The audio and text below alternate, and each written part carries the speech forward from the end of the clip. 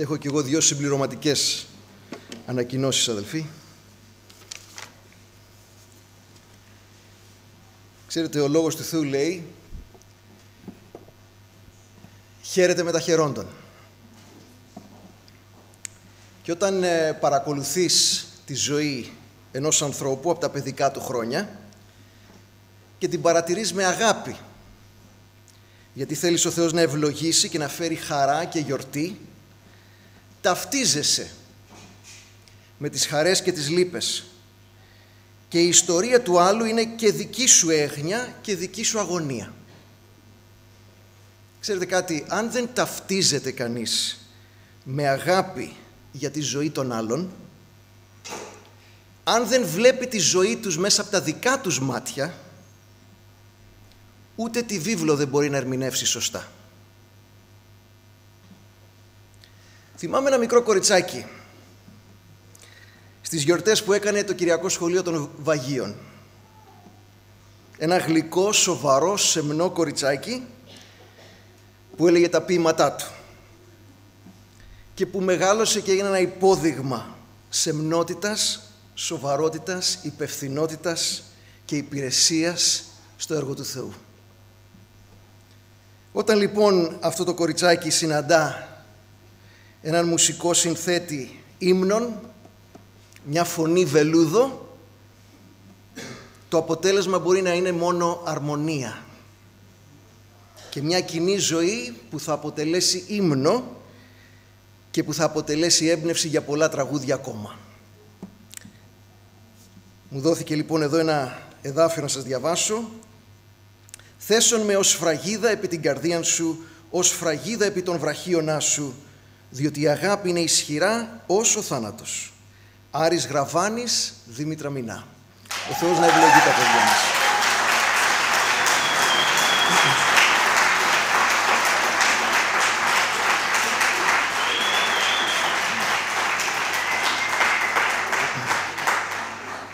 Χαιρόμαστε πολύ για όλους και η αγάπη μας για όλους είναι έκδηλη και εδώ είναι αρκετά μέλη από τις δύο οικογένειες και μπορείτε ύστερα να τους δείτε και να τους συγχαρείτε. Μια δεύτερη ανακοίνωση που δεν έχει να κάνει με μας εδώ είναι η εκλογή ενός νέου Πάπα.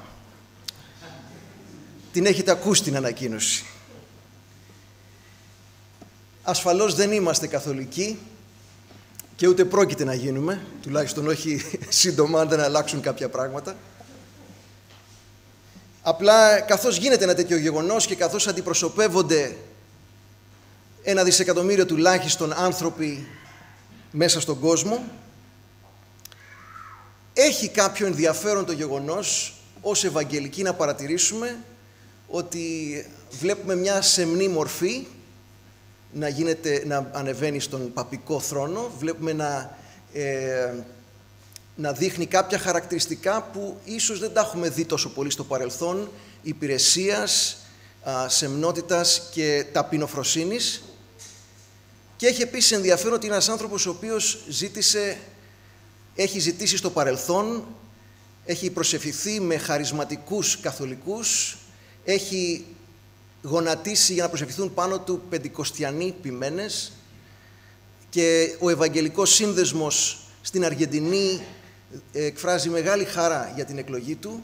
Όλα αυτά απλά μπορεί κανείς να τα δει ως θετικά. Δεν ξέρουμε τι αποτέλεσμα θα φέρουν, ασφαλώς. Αλλά τουλάχιστον αυτό δείχνει μια ταπείνωση και είναι ενδιαφέρον. Δεν νομίζω να έχει ξανασυμβεί ένας πάπας ή ένας μελλοντικός πάπας να δέχεται να προσευχηθούν για αυτόν άνθρωποι διαμαρτυρόμενοι, ευαγγελικοί ή πεντηκοστιανοί. Και αυτό έχει ενδιαφέρον. Θα το παρακολουθούμε, αλλά εφόσον ζήτησε τις προσευχές μας, γιατί να μην προσευχηθούμε για Αυτόν. Οπότε, καθώς θα ερχόμαστε αδελφοί σήμερα στο θρόνο του Θεού, ας προσευχηθούμε και για τον Άρη και τη Δήμητρα και για τον Πάπα και για όλα όσα μας απασχολούν. Ας προσευχηθούμε. Πατέρα μας ουράνιε, σε ευχαριστούμε για την αγάπη και το ελαιό Σου. Σε ευχαριστούμε γιατί έρχεσαι μέσα στη ζωή μας και εργάζεσαι και μας αγκαλιάζεις και μας κάνεις δικούς Σου. Σε ευχαριστούμε για τον Άρη και τη Δήμητρα και τον τρόπο με τον οποίο τους οδήγησες μαζί και Κύριε σε παρακαλούμε Εσύ να συνεχίσεις να τους οδηγείς και να τους ευλογείς μέσα στη ζωή τους εσύ Κύριε να τους δίνεις σοφία σε κάθε μελλοντική τους απόφαση. Τους αφιερώνουμε στα χέρια Σου. Προσευχόμαστε Κύριε μας για τον καινούριο Πάπα. Εσύ Κύριε γνωρίζεις τις καρδιές. Εσύ ο Θεός μας να εργαστείς μέσα στην καρδιά Του και σε όλους τους ανθρώπους μέσα στην Καθολική Εκκλησία. Εσύ να τους δίνεις φώτιση ώστε να κατανοούν τα δικά σου νοήματα. Να τους δίνεις ταπείνωση ώστε να βλέπουν πάνω απ' όλα εσένα.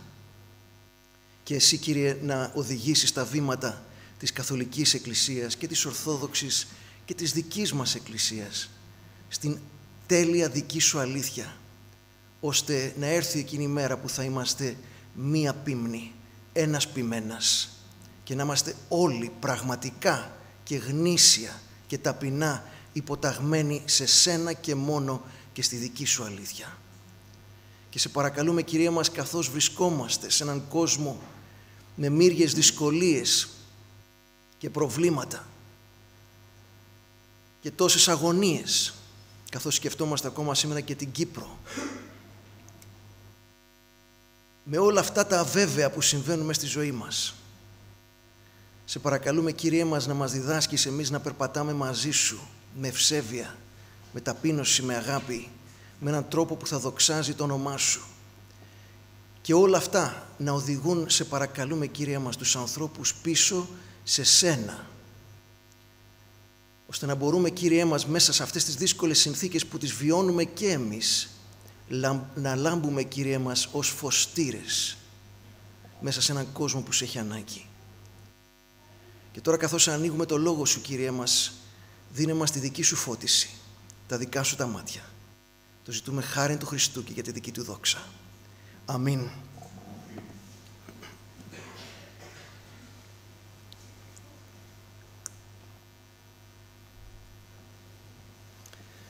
Δεν ξέρω αν σας έχει συμβεί ποτέ να αγωνιστείτε για κάτι, να έχετε κουραστεί, να έχετε ιδρώσει, να έχετε πονέσει, να έχετε κλάψει και να έχετε ελπίσει για κάτι και αυτό το κάτι ποτέ να μην συνέβη. Να ήταν δηλαδή μια πλήρης απογοήτευση. Ίσως κάποιοι έχουν νιώσει την πικρή εμπειρία του αγώνα για ένα πτυχίο και ενώ αγωνίστηκαν να μην μπόρεσαν να το πετύχουν. Ίσως άλλοι από εσάς έχετε κουραστεί να κάνετε κάποια δουλειά και στο τέλος όλος ο χρόνος που επενδύσατε σε αυτή την εργασία να πήγε χαμένος και να λέτε μάταιος κόπος. Μάταια επένδυση, θυμίζει τον μύθο του Σύσυφου. Ο αγώνας να κυλήσεις μια πέτρα μέχρι την κορφή μιας ανηφοριάς και μόλις φτάνεις κοντά στην κορφή να βλέπεις η πέτρα να κυλάει πάλι πίσω. Γιατί άραγε να είναι η ζωή γεμάτη απογοητεύσεις, γιατί τόσος κόπος μας να πηγαίνει χαμένος και ίσως ο πικρότερος πόνος να είναι όταν έχεις, να έχει επενδύσει κανείς σε μια σχέση. Έχει δείξει την αγάπη του, συνεχίζει να δείχνει την αγάπη του, αγωνίζεται διαρκώς να δείξει την αγάπη του και εισπράττει ως αντάλλαγμα μόνο την αχαριστία, την κακία, την αδιαφορία του άλλου προσώπου. Αναρωτιέμαι λοιπόν αδελφοί, ο Θεός μπορεί να απογοητευτεί; Μπορεί κανείς να φανταστεί τον παντοδύναμο Θεό να κάνει κάποιο έργο και ύστερα το βλέπει να ματαιώνεται, να πηγαίνει χαμένο. Φανταστείτε το, φανταστείτε το Θεό να πλάθει τη γη και τον άνθρωπο και ύστερα να τα βλέπει όλα να κινούν σε μια κατεύθυνση αντίθετη προς το θέλημά Του και να πει ορίστε μάταια κοπίασα, μάταια αγωνίστηκα, μάταια κουράστηκα Λίγο δύσκολο να το πει αυτό ο άπειρος και ο παντοδύναμος Θεός και θα έλεγε κανείς ότι εφόσον ο Θεός είναι και αυτοτελής, εφόσον ποτέ δεν έχει ανάγκη για τίποτα, εφόσον γνωρίζει τα πάντα, εφόσον μπορεί να κάνει ό,τι θέλει, άρα θα πεις δεν απογοητεύεται. Δεν μπορεί να νιώσει απογοήτευση. Κι όμως,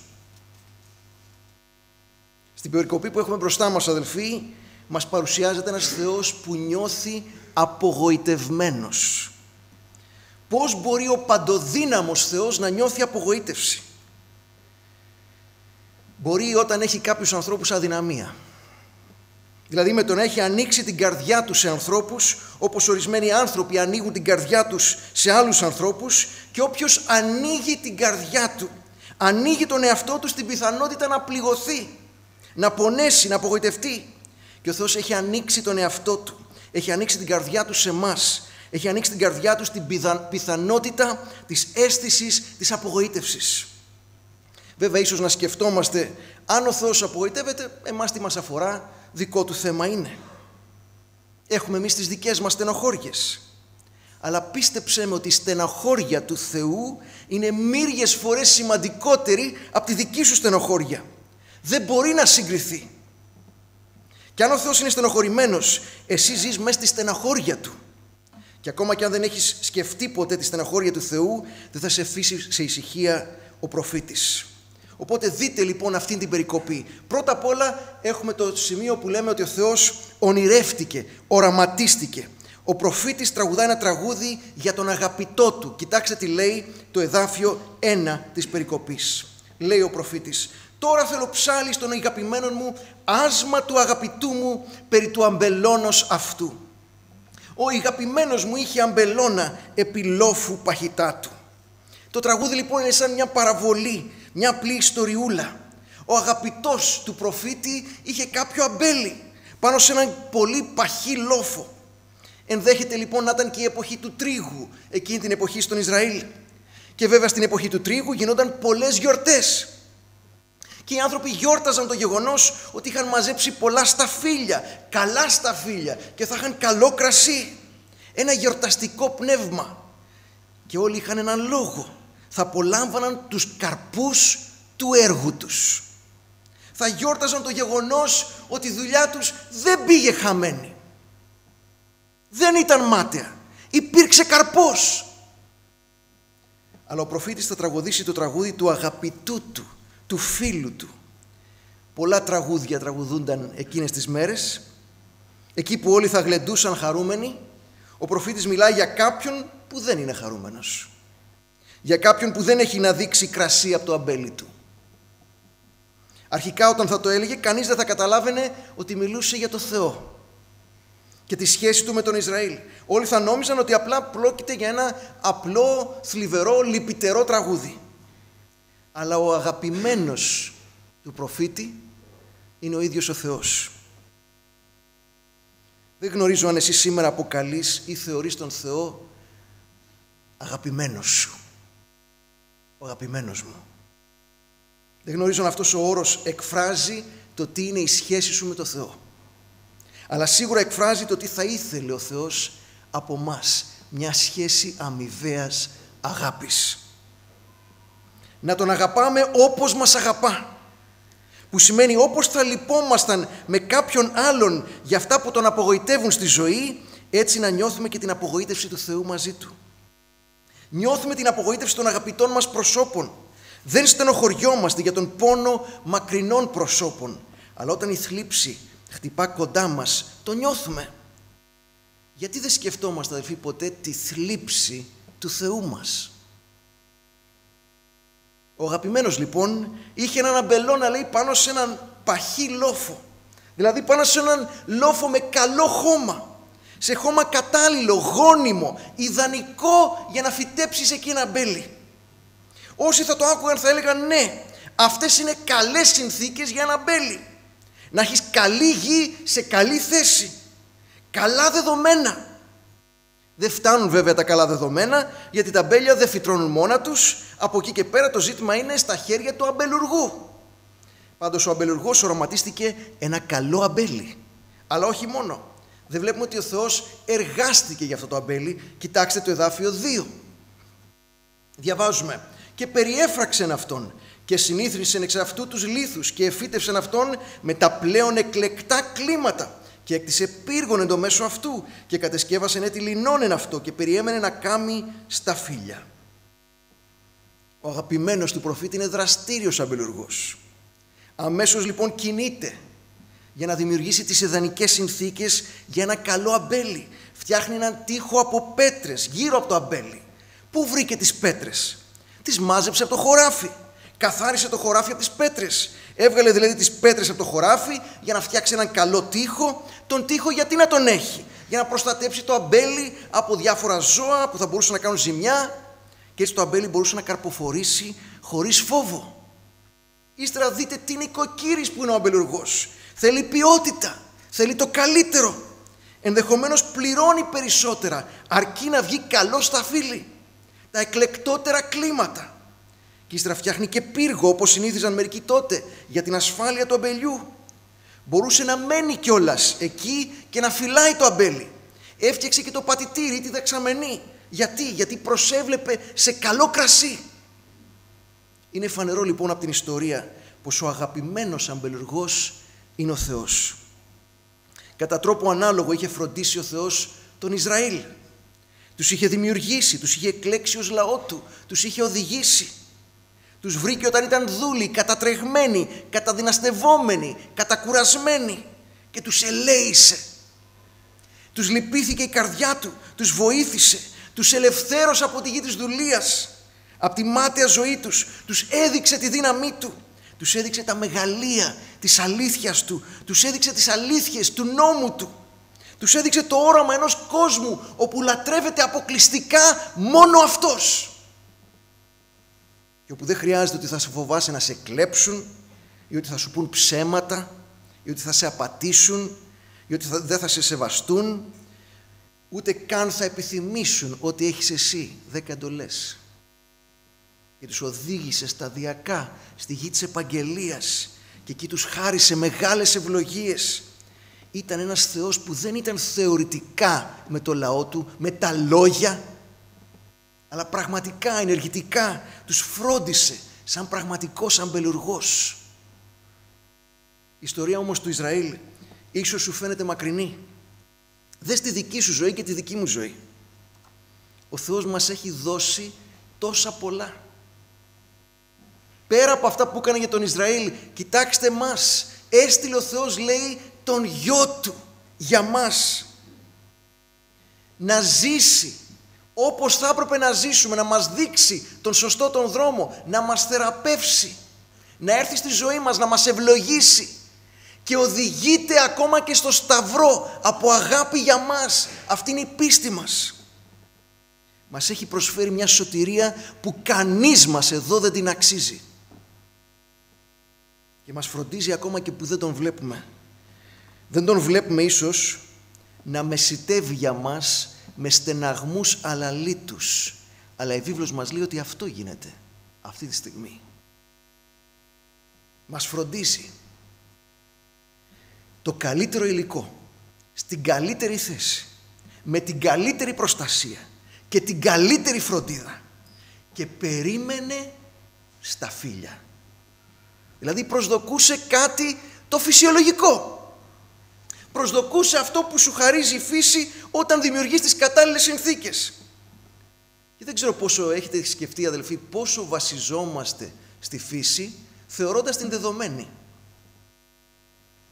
Αυτή τη στιγμή εξαρτιόμαστε όλοι από τη φύση. Δηλαδή αυτή τη στιγμή, για παράδειγμα, ο νόμος της βαρύτητας.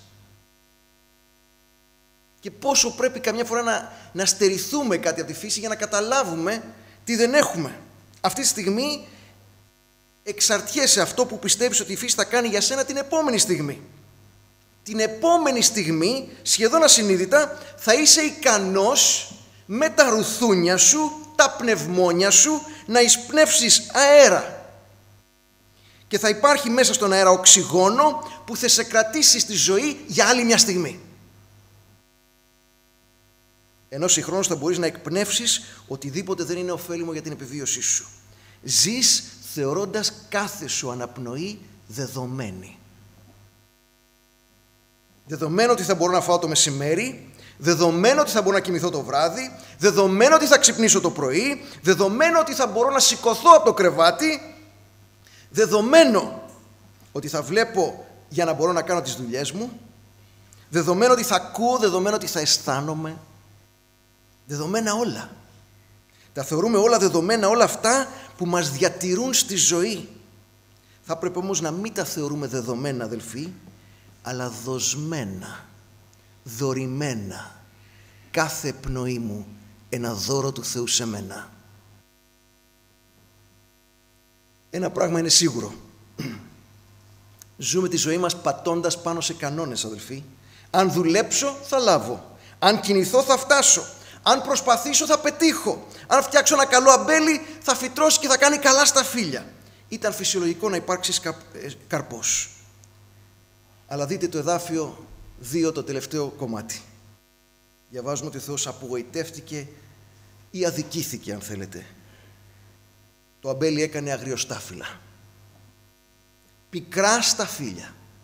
Πικρός τρίγος.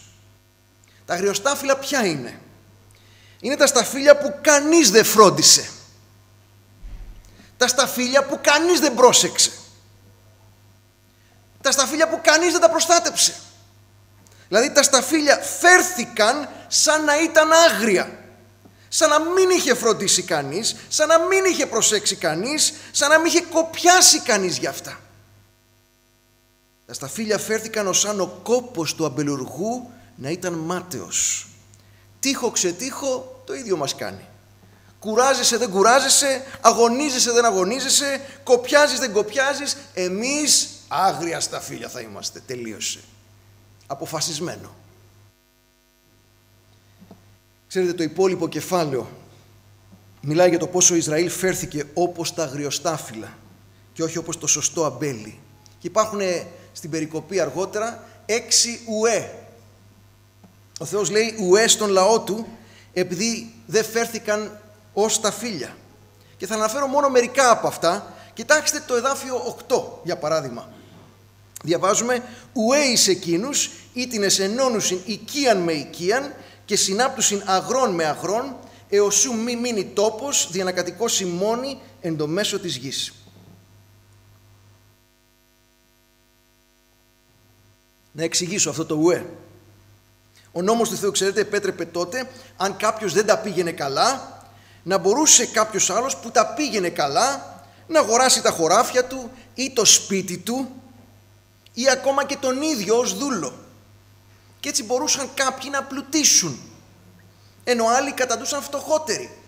Αλλά ταυτόχρονα ο ίδιος νόμος είχε μέσα κάποιες διαδικασίες θα λέγαμε ασφαλιστικές δικλίδες για την ανθρώπινη απληστία, ώστε να μην μπορούσε κάποιος να πλουτίζει αιωνίως, ερχόταν το 7ο έτος, ερχόταν το Ιωβιλέο έτος και έπρεπε η γη να επιστραφεί, οι δούλοι να επιστραφούν, να, να λάβουν την ελευθερία τους και ούτω καθεξής. Και να ξεκινήσει η διαδικασία πάλι από την αρχή. Και εκείνος που είχε χάσει το χωράφι του το ξανά παίρνε και αν δεν το παίρνε ο ίδιος το παίρνε το παιδί του, ο κληρονόμος του. Βλέπετε λοιπόν ο Θεός φρόντιζε ώστε η απληστία να είχε όρια. Αν ο Ισραήλ τηρούσε αυτό το νόμο, αυτό θα ήταν καλός καρπός, αδελφοί. Καλός σταφύλι θα ήταν. Θα ήταν καλό κρασί. Κάτι που θα άξιζε να γιορταστεί. Ο Θεός θα γιόρταζε βλέποντας να υπάρχει δικαιοσύνη και αδελφοσύνη πάνω στη γη. Και αυτό θα μπορούσε να το δείξει σε όλα τα άλλα έθνη και να πει «Να ορίστε τι γίνεται όταν ένας λαός με υπακούει». Ο λαός όμως δεν υπάκουσε στον νόμο που ο Θεός του, του χάρισε και έτσι οι πλούσιοι γινόντουσαν πλουσιότεροι χωρίς μέτρο, χωρίς φραγμό, εις βάρος των φτωχών, μέχρι που λέει ο Ισαΐας, θα φτάνουν στο σημείο να κατοικούν μόνοι τους εν το μέσο της γης επειδή θα είχαν εκτοπίσει όλους τους άλλους. Βασικά θα είχαν αγοράσει τα χωράφια όλων των άλλων. Οι άλλοι πάντα θα γινόντουσαν φτωχότεροι, εκείνοι πάντα θα γινόντουσαν πλησιότεροι. Βασικά περιγράφει ο Ισαΐας αυτό που βλέπουμε σήμερα στον κόσμο μας. Κάποιοι ας πούμε τελικά τα έχουν κατακτήσει όλα. Δεν χαίρεται ο Θεός. Δεν το γιορτάζει ο Θεός. Γιατί βλέπετε ο Θεός ταυτίζεται με αγάπη τον αδικημένο. Αντί για αδελφοσύνη, το καλό σταφύλι, κυριαρχούσε η απληστία, τα αγριοστάφυλλα. Τέτοια συμπεριφορά, λέει, είχαν οι άλλοι λαοί. Δεν θα έπρεπε το εκλεκτό έθνος του Ισραήλ να έχει τέτοια συμπεριφορά. Έμοιαζε με τα άλλα έθνη. Αντί να επηρεάζει, επηρεαζόταν. Και είναι ένα καλό ερώτημα για μας, αδελφοί. Ξέρετε, όλο αυτό, όλο αυτό το περιβάλλον, όταν λέμε για κοσμικότητα, τι εννοούμε πολλές φορές; Μιλάμε για κάποιες συμπεριφορές, αλλά κατά πόσο κατά κάποιο τρόπο μας πήρε το ρεύμα όλου του κοσμικού συστήματος, της απληστίας. Να έχουμε περισσότερα, μεγαλύτερα σπίτια, μεγαλύτερα αυτοκίνητα, μεγαλύτερο το ένα, περισσότερο από το άλλο. Να, να χορτάσουμε και να έχουμε... Γίναμε κι εμείς άπλιστοι, το ρεύμα του κόσμου μας συνεπήρε. και τα πληρώνουμε σήμερα. Ένα άλλο ουέ. Κοιτάξτε το εδάφιο 11. Διαβάζουμε. Ουέ εις εκείνους ήτινες εξεγυρώμενοι το πρωί ζητούσι σίκερα. Ήτινες εξακολουθούσι μέχρι της εσπέρας έως σου εξάψει ο ίνος αυτούς. Εδώ μιλάμε για τους ανθρώπους που ζουν στη διασκέδαση χωρίς να έχουν αποστολή. Η ζωή τους είναι ένα μεγάλο γλέντι. Πίνουνε, γλεντάνε, τραγουδάνε, αλλά λέει δεν παρατηρούσε το έργο του Κυρίου και δεν θεωρούσε την ενέργεια των χειρών αυτού. Οι άνθρωποι αυτοί βρίσκουν τη χαρά τους στο διαρκές γλέντι και ό,τι ενεργεί ο Θεός τους είναι αδιάφορο. Αρκεί να περνάνε καλά. Αυτός είναι ο λαός του Θεού. Καμιά φορά αναρωτιέμαι αδελφοί ως εκκλησία μήπως καταντάμε και αυτό είναι ένας κίνδυνος για όλους μας έτσι. Είναι καλή η παρέα μας εδώ. Είναι απολαυστική. Αλλά μήπως και εμείς καταντάμε κάπου καλοπερασάκιδες. Μπορεί να μην είμαστε έτσι οι ακραίοι αμαρτωλοί, αλλά καλοπερνάμε σε σημείο που ξεχνάμε ότι είμαστε εδώ με μια αποστολή μες στον κόσμο. Μην την ξεχνάμε. Αυτή είναι η όλη η ουσία της ζωής μας. Το νόημα της ζωής μας. Υπάρχουμε για να εκτελέσουμε το θέλημα του Θεού. Στα εδάφια 18-19 έχουμε ένα άλλο ουε. Διαβάζουμε. Στα εδάφια 18-19. Ουέ εις εκείνους ήτινες επισύρουση την ανομίαν διασχηνίων ματαιότητος και την αμαρτίαν ως διαλωρίων αμάξης ήτινες λέγουσιν να σπεύσει ας επιταχύνει το έργο αυτού δια να είδομεν και η βουλή του Αγίου του Ισραήλ ας πλησιάσει και ας έλθει δια να μάθομεν. Εδώ μιλάμε για τους ανθρώπους που ζουν τη ζωή τους με αδιαφορία για το Θεό. Ξέρετε εδώ τι είναι; Όταν φτάνεις στο σημείο να μην μπαίνεις στο Θεό στα σοβαρά στη ζωή σου. Αυτό το κάνει ο κόσμος ασφαλώς. Αλλά είναι ένας κίνδυνος και μέσα στην εκκλησία αδελφοί. Είναι κίνδυνος. Ξέρετε τι κάνουμε καμιά φορά; Τα κάνουμε όλα, τα καταλήγουμε να είναι ένα ανέκδοτο όλα. Έτσι. Να θυμίσω ότι όταν ο Θεός φανερώθηκε, όπου φανερώθηκε ο Θεός, σε όλη τη βίβλο, μόλις ο Θεός φανερωνόταν, οι άνθρωποι πέφταν κατά γη στο πρόσωπο και τρέμανε γιατί είχαν δει τον Θεό τον ζώντα και έλεγαν θα ζήσω τώρα. Θα πρέπει να έχουμε αδελφοί μια διάθεση σεβασμού απέναντι στο Λόγο του Θεού, στην προσευχή, στην Εκκλησία. Ερχόμαστε εδώ να συναντήσουμε τον Θεό τον ζώντα αδελφοί. Τώρα αν δεν το πιστεύουμε αυτό, ερώτημα, γιατί ερχόμαστε; Γιατί ερχόμαστε; Από συνήθεια; Πιστεύουμε συνειδητά, βαπτιστήκαμε και ομολογήσαμε ότι πιστεύουμε συνειδητά στον Θεό τον ζώντα. Και με αυτή τη διάθεση, αδελφοί, θα πρέπει πάντοτε να ερχόμαστε ενώπιον Του. Όχι με φόβο ότι ο Θεός αυθέρατα θα μας κάνει κάτι κακό, αλλά με σεβασμό για το ποιος είναι. Είναι ο Θεός. Ο λαός του Θεού σε εκείνη τη φάση ηρωνευόταν το Θεό του. Βλέπετε όπως το αμπέλι βρισκόταν μέσα στην ασφάλεια του τείχου που του είχε χτίσει ο Θεός, έτσι και ο λαός κατοικούσε μέσα στην ασφάλεια που του παρήχε ο Θεός. Κανένας άλλος στρατός δεν μπορούσε να εισβάλλει στη γη τους αν δεν το επέτρεπε ο Θεός. Και όμως αυτοί, α, ζούμε με ασφάλεια, όλα είναι καλά στη ζωή μας. Ε; Και αρχίζει σιγά σιγά αυτή η νοοτροπία, ότι δεν παίρνω στα σοβαρά το Θεό, δεν παίρνω στα σοβαρά το Λόγο του Θεού, δεν τρέμω ενώπιον Του. Αδελφοί, αυτό θα πρέπει να είναι το κύριο χαρακτηριστικό μας, ότι τρέμουμε ενώπιον του Λόγου του Θεού.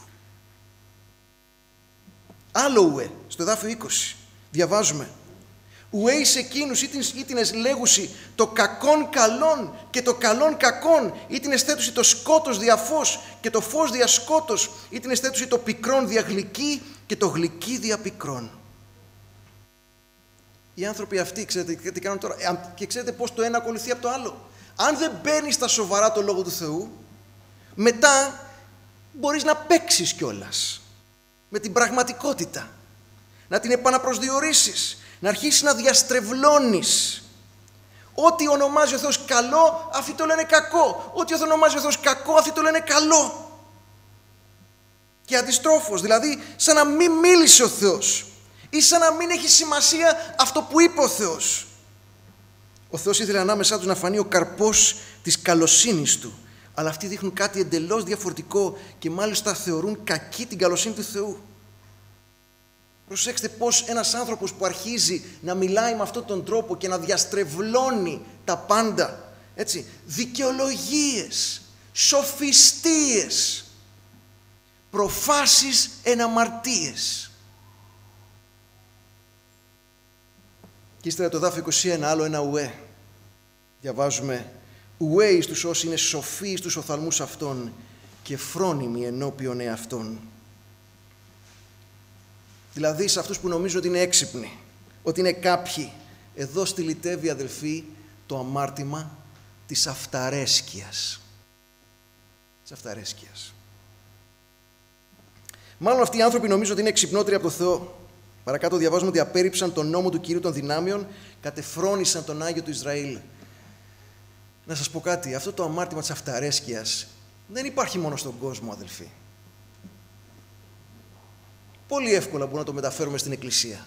Και μάλιστα να το μεταφέρουμε στην Εκκλησία υπερηφανευόμενοι για το πόσο καλοί είμαστε κιόλας. Έτσι. Που εμείς είμαστε οι σωστοί και οι Άγιοι και οι άλλοι δεν είναι ας πούμε. Και να ζούμε μέσα σε αυτή την αντίληψη. Έτσι ήταν ε, ο αρχαίος Ισραήλ. Εμείς ίσως βρισκόμαστε σε διαφορετικές συνθήκες, αλλά τα πράγματα παραμένουν ίδια. Ζούμε μεγάλο μέρος της ζωής μας, αδελφοί, αδιαφορώντας για το Θεό και για τη γνώμη και τη γνώση του Θεού. Αλλά τώρα αφήνει ο προφήτης τον ίδιο το Θεό να μιλήσει μέσα από τη δική του φωνή. Κοιτάξτε εδάφια 3 4, επιστρέφω εκεί, διαβάζουμε. Και τώρα κάτοικοι Ιερουσαλήμ και άνδρες Ιούδα κρίνατε παρακαλώ ανάμεσον εμού και του αμπελώνος μου. Τι το δυνατόν να κάμω έτη στον αμπελώνα μου και δεν έκαμον εις αυτόν. Γιατί λοιπόν ενώ περιέμενο να κάνει στα φίλια έκαμε ένα αγριοστάφυλλα. Ακόμα νόμιζαν οι Ισραηλίτες ότι εδώ μιλάει ο εμπελουργός για το αμπέλι του και ρωτάει πείτε μου τι άλλο έπρεπε να κάνω. Αυτό εγώ που κάνω, κάνει αγριοστάφυλλα. Η απάντηση για τον αρχαίο Ισραήλ θα ήταν σαφής. Μα αφού έκανες τα πάντα δεν φταίς εσύ. Το αμπέλι έχει πρόβλημα που οι δικές σου προσπάθειες δεν μπορούν να το αναιρέσουν. Κάτι παρόμοιο, αδελφοί, είχε γίνει με την περίπτωση του προφήτη Νάθαν όταν πλησίασε το Δαβίδ. Θυμάστε αυτή την ιστορία. Ο Δαβίδ είχε παράνομα πάρει τη Βυθσαβέ και ύστερα είχε φροντίσει να θανατωθεί ο σύζυγός της.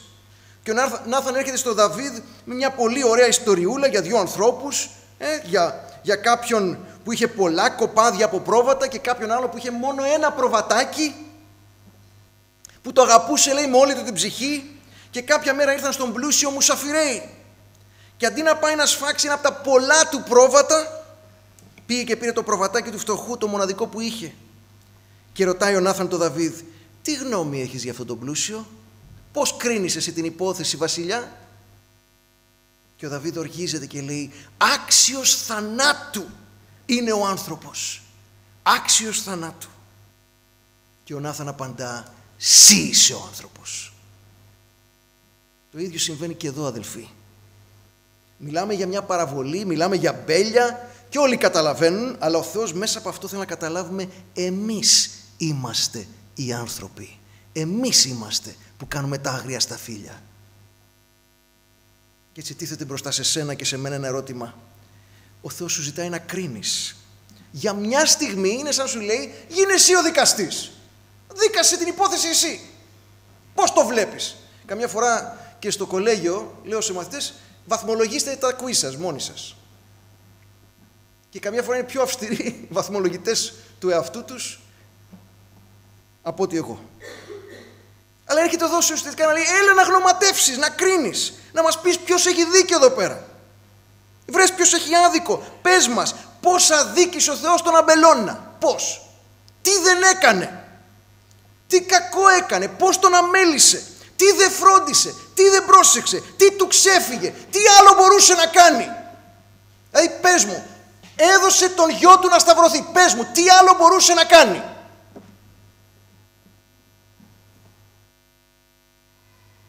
Και αν ο Ισραήλ έκρινε εκείνη την ώρα τον αμπελώνα, θα έπρεπε ο ίδιος να κρίνει τον εαυτό του. Και καλείσαι και εσύ, καλούμε και εγώ, να κρίνουμε τους εαυτούς μας, αδελφοί. Πρέπει να δούμε τον εαυτό μας με τα μάτια του Θεού. Ξέρετε, όταν συνέβη το πρώτο αμάρτημα, συνέβη και η πρώτη δικαιολογία. Το φίδι μου είπε. Η γυναίκα που μου έδωσες μου είπε.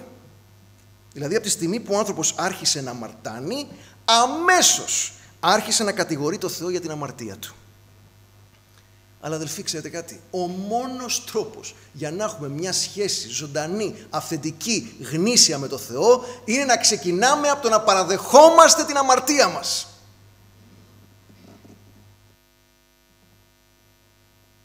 Για την αμαρτία μου φταίω εγώ. Εγώ και μόνο εγώ και δεν πρόκειται να τη φορτώσω σε άλλους.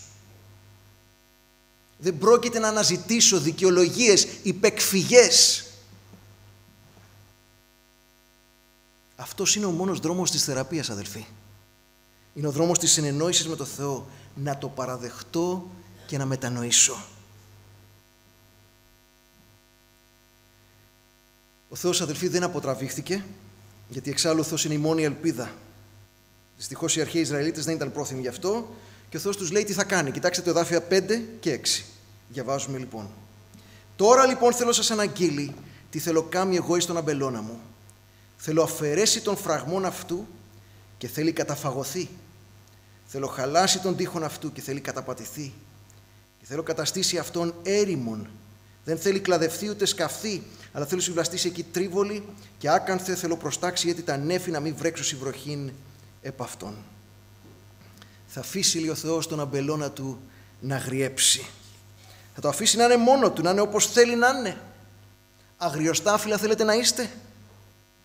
Θα σας αφήσω να κάνετε αυτό που θέλετε. Αφαιρώ όλα όσα σας δίνω κάθε μέρα. Αφαιρώ τα προνόμια. Αφαιρώ τον κόπο, αφαιρώ την προστασία μου. Το λέτε και το δείχνετε με τον τρόπο που ζείτε σαν να μου δηλώνετε ότι με θεωρείτε άχρηστο. Αποσύρωμαι από ευγένεια. Στην ελευθέρα σας βούληση. Αφού δεν με θέλετε. Αλλά μαζί μου αποσύρονται και όλα μου τα δώρα. Ότι σας χάριζα και δεν γινούσατε να πείτε να ευχαριστώ. Όχι μόνο αποσύρει το Θεός θα πει και στα σύννεφα να μην βρέξουν πάνω στο αμπέλι. Ούτε και αυτά είναι υποχρεωμένος να τα χαρίσει. Ο Θεός είναι απογοητευμένος και πληγωμένος αδελφοί τα δώρα του, ο λόγος του, ό,τι είχε να δώσει έχει καταφρονηθεί, οπότε θα πάψει να το δίνει. Και αυτό αδελφοί είναι κρίση Θεού, αλλά είναι περισσότερο αδελφοί παιδεία του Θεού. Αν ξεχνάς πως ζεις από Αυτόν, αναγκάζεται Αυτός να αποσυρθεί για να καταλάβεις πόσο πολύ Τον χρειάζεσαι. Μπορούμε να δούμε ένα από τα παραδείγματα που αναφέραμε πριν. Ο Ισαΐας έκραζε ουέ σε εκείνους που περιφρονούσαν τον νόμο του Θεού και πλούτιζαν χωρίς να επιστρέφουν τη γη στους αρχικούς κατόχους της. Στην ουσία έλεγαν το εξής. Ο Θεός έβαλε νόμους για να συγκρατήσει την απληστία, απληστία μας, αλλά εμείς δεν θέλουμε όρια στην απληστία μας, θέλουμε να συνεχίσουμε έτσι να ζούμε. Θέλουμε έναν κόσμο όπου η απληστία δεν ελέγχεται. Θέλουμε να μαζεύουμε σπίτια και χωράφια και όλα τα καλά και να μην μας βάζει φρένο ο Θεός σε τίποτα. Και ο Θεός τώρα απαντάει, εντάξει, θα σας αφήσω να ζήσετε σε έναν κόσμο ανεξέλεγκτης απληστίας. Και θα έρθουν άλλοι επιδρομείς και εκείνοι άπλιστοι και θα σας πάρουν εκείνοι τα σπίτια. Αφού έτσι θέλετε τον κόσμο, χωρίς όρια στην απληστία, έρχεται η σειρά σας. Νομίζετε δεν υπάρχουν μεγαλύτερα ψάρια από εσάς να σας φάνε. Δηλαδή δεν είστε οι μόνοι άπλιστοι. Θα αφήσω κι άλλους άπλιστους να εκφραστούν. Εσείς θέλατε τη γη των αδελφών σας, κάποιοι γειτονικοί λαοί θα θέλουν τη γη τη δική σας και θα σας κυριεύσουν. Θέλετε λοιπόν έναν τέτοιο κόσμο που κυβερνάει απληστία, πάρτε τον κόσμο που διαλέξατε. Αλλά το ίδιο μπορεί να ισχύει για όλες τις εντολές του Θεού, αδελφοί, τις οποίες περιφρονούμε. Αν θέλεις να λες ψέματα, διαλέγεις έναν κόσμο όπου τα ψέματα επιτρέπονται και όπου μπορεί κάποιος να πει ψέματα σε σένα ή για σένα. Αν δεν τιμάς άλλους, διαλέγεις έναν κόσμο που η εκτίμηση των άλλων δεν είναι αξία και κάποια στιγμή θα πέσεις από την εκτίμηση των άλλων.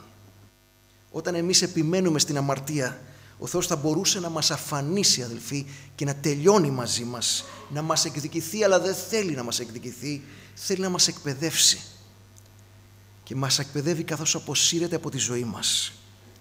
Παίρνει πίσω την προστασία Του, την ευλογία Του, τη φροντίδα Του.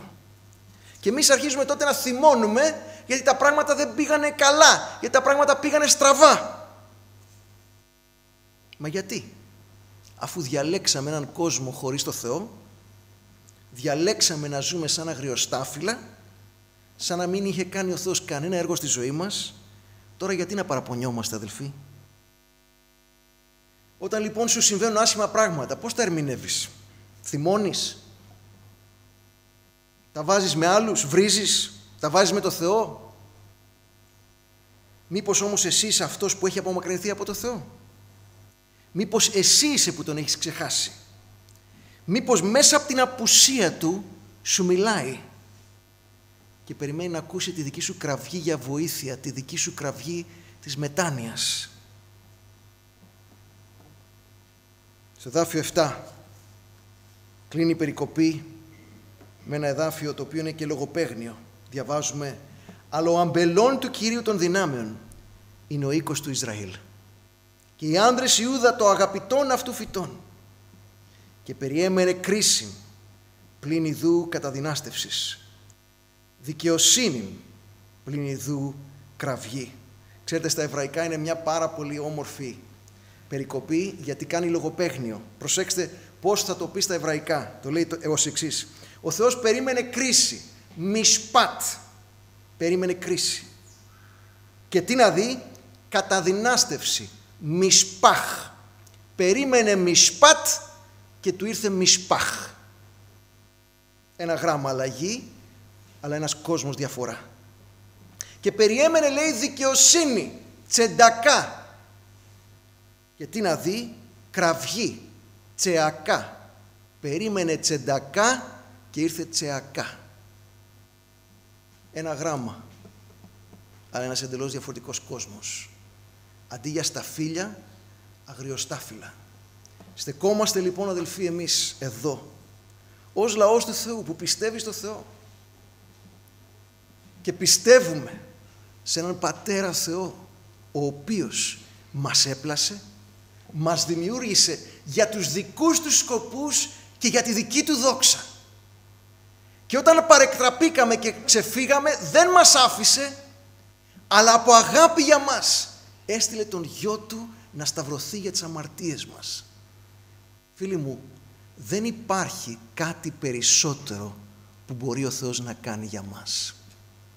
Ακόμα και αφού πέθανε και σταυρώθηκε ο Χριστός, αναστήθηκε, αναλήφθηκε, έστειλε το Άγιο του Πνεύμα να είναι ανάμεσά μας, να κατοικεί, να μας οδηγεί και να φέρει τον καρπό του Πνεύματος.